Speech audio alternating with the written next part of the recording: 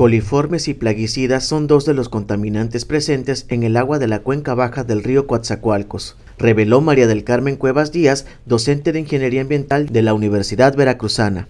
Pues la calidad del agua, vamos a decir que es, gracias, que es este, eh, pues no tan adecuada.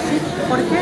Pues porque tenemos algún tipo de de este parámetros que no se cumplen ellos, el que es uno de los más fuertes, es el de La investigadora resaltó que aunque los microorganismos ya reaccionan para abatir la contaminación en este afluente, esto demorará, por lo que es necesario también que la mayoría de la población contribuya pagando el servicio mensual de agua potable, pues únicamente el 30% lo hace.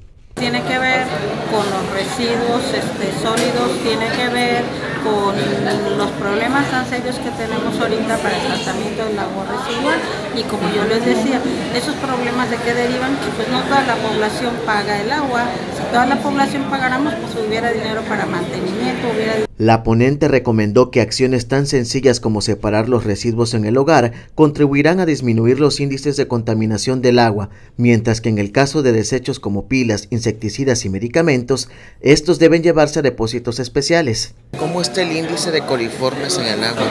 Eh, pues un número así no le podría decir, pero está elevado. Al menos en algunos, algunos recomiendan mil dependiendo del uso del agua, pero ese límite lo tenemos pasado en algunos puntos.